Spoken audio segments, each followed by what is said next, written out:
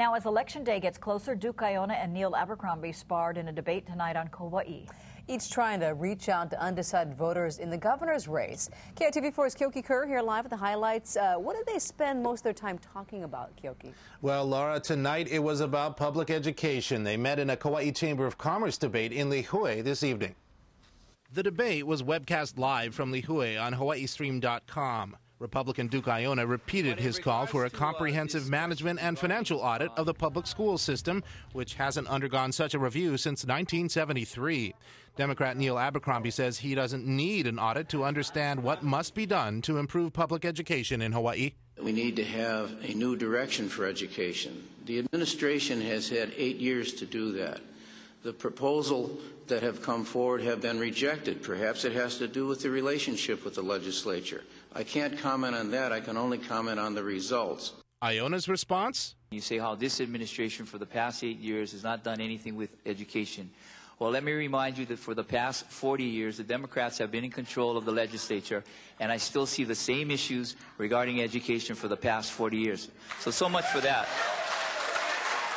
Aiona says the Department of Education is spending nearly $2.5 billion this year, and he read from an editorial in the Maui News newspaper. How can you honestly run for governor without caring about knowing how 41% of our state budget is being spent? And that's the Maui News. It seems to me a little disingenuous at this stage to say I've suddenly discovered that we, date, we paid not sufficient attention for the past eight years to where the money was going. And so now we have to find that out. State Auditor Marion Higa says in the last 20 years, her office has conducted at least 66 education related audits of all kinds of public education divisions and programs.